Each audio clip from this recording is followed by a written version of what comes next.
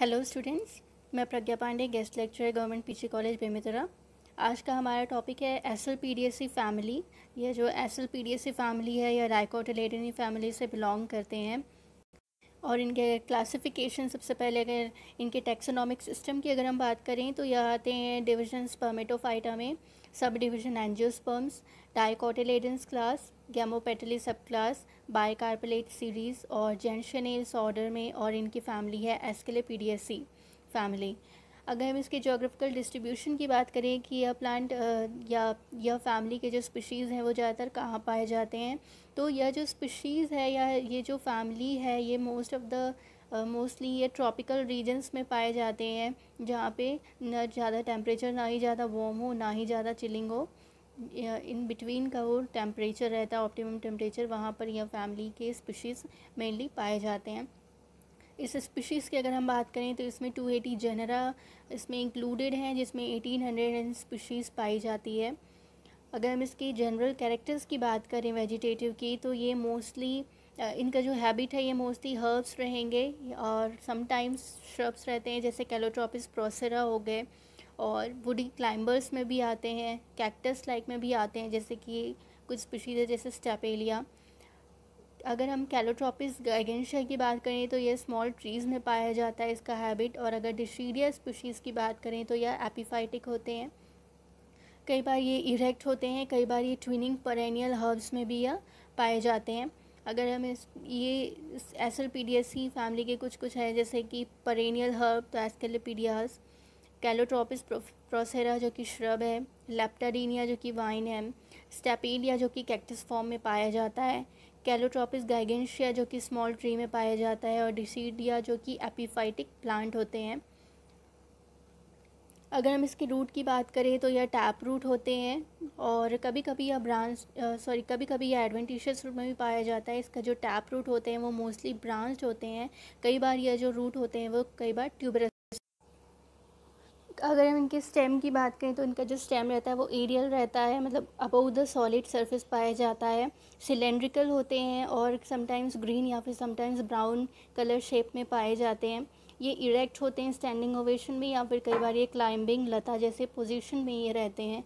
Branch जो होते हैं और प्यूबिसेंट होते हैं। प्यूबिसेंट मतलब कि उसमें हेयरी लाइक अपेंडेजेस उसमें रेशेदार संरचनाएँ हमें दिखाई देती है। वुडी रहती है। वुडी मतलब कि ऐसे जिसमें स्लेरन कायमेटस सेल्स या फिर जाइलम जो रहते हैं, वो ज़्यादा उनका कंटेंटमेंट होता है। सॉलिड होते हैं, कठोर होंगे। और इनकी अगर स्टेम की बात करें तो एक स्पेसिफिक जूसी मटेरियल इसमें पाया जाता है, जिसे हम मिल्की लेटेक्स कहते हैं। अगर हम इसके लीव्स की बात करें तो सबसे पहला तो लीव्स इसका सिंपल होता है।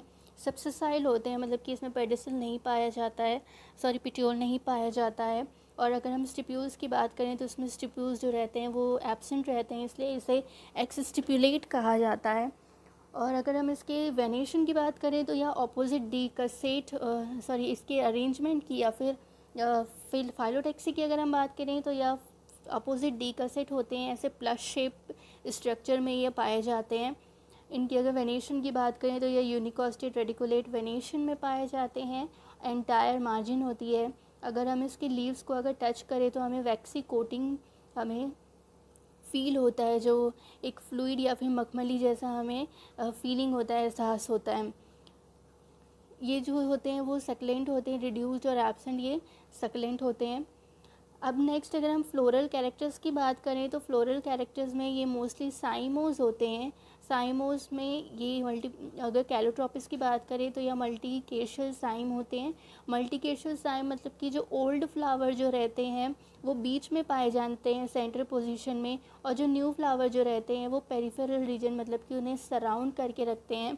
और बहुत सारी शाखाओं से ही फ्लावर का ओरिजिन होता है तो ये बंचेस में ऐसे पाए जाते हैं जिसमें ओल्ड फ्लावर जो रहता है वो बीच में प्रेजेंट रहेगा और जो न्यू फ्लावर जो रहते हैं वो उनके पेरीफेरल रीजन में कवर अप होते हैं।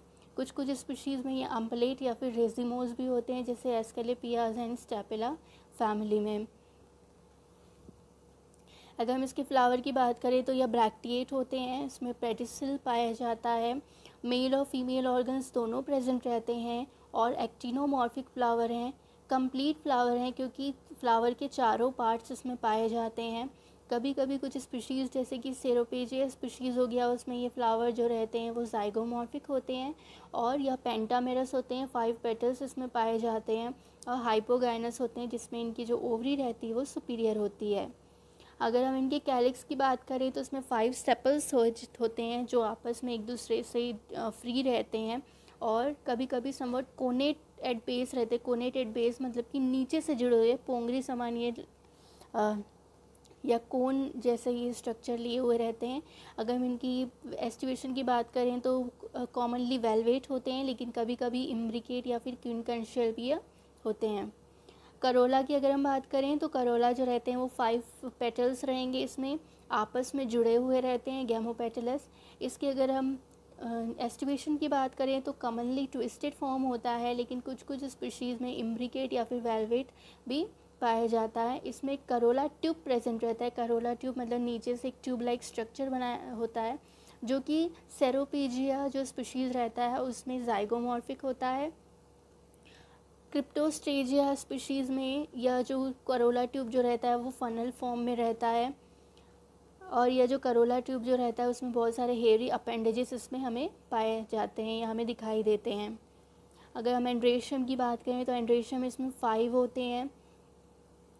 तो जो एंथर्स हैं, वो क्या है लेटरली यूनाइटेड रहते हैं। वो ब्लंट कोन देने के लिए कोन लाइक स्ट्रक्चर इसमें पाया जाता है, जो कि स्टिग्मा हेड से जुड़े हुए रहते हैं। जो एंथर्स जो रहते हैं, वो एक फाइव साइडेड ब्लंट कोन में यूनाइट होकर के स्टिग्मा जो हेड होता है, उससे जा कर के यूनाइट या फिर अटैच हुए रहते हैं, जिसकी वजह से जो स्टिग्मा जो है वो गाइनोस्टेजियम की तरह फॉर्म करता है या गाइनोस्टेजियम स्टिग्मा या गाइनोस्टेजियम स्टाइल हम इसे बोलते हैं, इस टर्मिनोलॉजी को हम कहते हैं। एंथर्स में, एंथर्स जो रहते हैं वो टू सेल स्ट्रक्चर्स रहते हैं और उनका जो पॉलन जो रहता है, जिसमें पॉलन ग्रेन पाया जाता है, वो एंथर सेक के अंदर में ही यूनाइट होकर के वहाँ पर यूनाइट होकर के वहाँ पर प्लेस हुआ रहता है, जिसे हम पोलिनिया कहते हैं।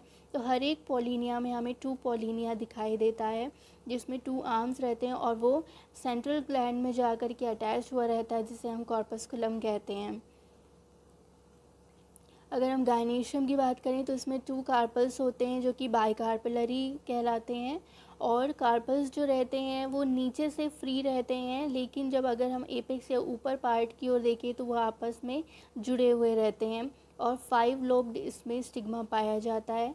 सुपीरियर जो ओवरी जो रहती है वो सुपीरियर होती है और हर एक लॉक्यूल में एक कार्पल या एक ओव्यूल इसमें प्रेजेंट रहता है। इसमें मार्जिनल प्रेजेंटेशन पाया जाता है और इसकी जो स्टाइल और स्टिग्मा स्टाइल जो रहते हैं वो टू लोब्ड मतलब कि टू रोज़ में पाई जाती है और स्टिग्मा वन से फाइव लोब्ड में इसमें प्रेजेंट रहते हैं। हम अगर इसके फ्रूट्स की बात करें तो फ्रूट इसमें फॉलिकल फॉर्म में पाया जाता है। और अगर हम सीड की बात करें तो सीड जो रहता है वो टफ मतलब कि एकदम कठोर जैसा वो संरचना लिए रहता है जिसमें सिल्की हेयर्स प्रेजेंट रहते हैं। जो वाइट कलर में रहते हैं, जिसे हम कोमा कहते हैं। अगर हम इसके पॉलिनेशन की बात करें तो पॉलिनेशन इसमें एंटमोफिलिस होता है। एंटमोफाइलिस मतलब कि जो इंसेक्ट्स के द्वारा पॉलिनेशन का जो प्रोसेस होता है। इसमें अगर एस एल फैमिली की कैलोट्रोपिस प्रोसरा की स्पीशीज़ की अगर हम बात करें तो इसमें पॉलिनेटिंग एजेंट्स जो रहते हैं, वो बटरफ्लाइज होते हैं। बटरफ्लाई के द्वारा ही इसमें पॉलिनेशन की प्रक्रिया पूरी होती है। ये है इसका जनरल फार्मूला जिसमें जनरल फार्मूला का अगर देखिए तो bracteate actinomorphic bisexual corolla five है, जो या तो जुड़े हुए भी हो सकते हैं या फिर नहीं भी जुड़े हैं। अगर जुड़े हुए हैं तो उसे हम ब्रैकेट से डिनोट करेंगे। अगर आपस में फ्री हैं तो वहाँ पर ब्रैकेट नहीं रहता है। करोला जो है वो भी फाइव है, जो आपस में जुड़े हुए हैं।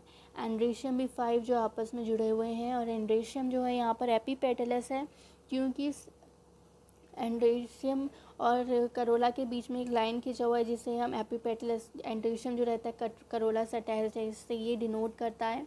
गाइनेशियम भी जो रहते हैं, वो एपीपेटलस रहते हैं क्योंकि वो एंड्रेशियम और करोला से अटैच रहते हैं। और इसमें गाइनेशियम टू है, जिसकी ओवरी जो है वो सुपीरियर होती है। हम इसकी अगर कैलोट्रोपिस प्रोसेरा स्पीशीज़ की अगर हम फ्लोरल डायग्राम और फ्लोरल फार्मूला की बात करें तो यह नीचे जो दिया है वो है ब्रैक्टिएट ब्रैक्टियोलेट जो टू साइड में है, फिर एक्टिनोमॉर्फिक है बाईसेक्सुअल है करोला जो कि है फाइव जो आपस में जुड़े हुए नहीं हैं इसलिए वहाँ पर कोई भी जुड़ा हुआ नहीं है। करोला आप देख सकते हैं आपस में जुड़े हुए हैं जो कि फाइव है एंड्रेशियम भी आपस में जुड़े हुए हैं फाइव है जो कि गाइनेशियम से जा कर के जुड़े हुए हैं जो गाइनोस्टेजियम जिसे हम टर्म कहते हैं। गाइनेशियम भी यहाँ पर टू है और जिसकी ओवरी जो रहती है वो सुपीरियर है। तो यह थी कुछ बातें वेजिटेटिव कैरेक्टर्स और floral characters Asclepiadaceae family की। अगर हम इसकी इकोनॉमिक इंपॉर्टेंस की बात करें तो इकोनॉमिक इंपॉर्टेंस में सबसे पहला इंपॉर्टेंस आता है कि यह ऑर्नामेंटल है। इसे हम गार्डन एरिया में या फिर पार्क में या फिर बालकनी में हम इसे शो की तरह एज अ शो प्लांट या एज अ ऑर्नामेंटल की तरह हम इसे रख सकते हैं। इसका पहला स्पीशीज़ है एस एल पी एस जिसे हम सिल्क वीड भी कहते हैं कैरलुमा स्पीशीज़ भी ऑर्नामेंटल की तरह एक्ट करती है। होया जिसे हम वैक्स वाइन कहते हैं। यूनिया जिसमें कैरियन फ्लावर जिसका जो फ्लावर है, वो स्टार शेप स्टार फ़िश या फिर स्टार शेप्ड फ्लावर रहता है। ऑक्सीपेटलम जिसे प्रिंसेस ऑफ़ नाइट कहा जाता है यह फ्लावर ब्लू कलर में रहते हैं। लाइट ब्लू कलर के जो रात में अगर हम इसे देखें तो बहुत ही सुंदर दिखता है और बहुत ही अच्छा लगता है। ये स्टेपेलिया फैमिली जो कैक्टस फॉर्म में रहता है और ये स्टेफिनोटिस फैमिली जो कि ये जो पूरे स्पीशीज़ हैं ये सब क्या है पूरे ऑर्नामेंटल प्लांट की तरह यह एक्ट करते हैं। अगर हम आ, कुछ स्पीशीज़ की बात करें जैसे Asclepias curassavica Calotropis gigantea Cosmostigma racemosa Tylophora tenuis Marsdenia royalei Leptadenia, pyrotechnica. तो ये स्पीशीज़ जो है वो cordage twines fishing nets etcetera के लिए भी इसे ये हम यूज़ करते हैं। हम इस फैमिली के स्पीशीज़ से डाई का भी फॉर्मेशन करते हैं। जैसे एक होता है इंडिगो डाई उसे हम एक स्पीशीज़ आती है मार्सडीनिया टिंटोरिया उस स्पीशीज़ से हम इसे ओप्टेन करते हैं और इसे डाई फॉर्म में हम यूज़ करते हैं। एक स्पीशीज़ है जैसे, जो है मैटिलिया अगर हम इस स्पीशीज़ की बात करें तो इसके लेटेक्स से हमें एरो पॉइज़न मिलता है। एरो पॉइज़न जिसे हम इंसेक्ट्स या फिर मॉस्किटोज़ हो गए, उसे हम किल करने का भी काम कर सकते हैं। मेडिसिनल प्लांट्स की अगर हम बात करें तो इसका जो कैलोट्रोपिस जो प्रोसेरा जो स्पीशीज़ है, उसके रूट को हम कफ कोल्ड एंड कफ अगर होता है तो उसके लिए एक ट्रीटमेंट वे या फिर क्यूरेबल वे में उसे हम यूज़ करते हैं।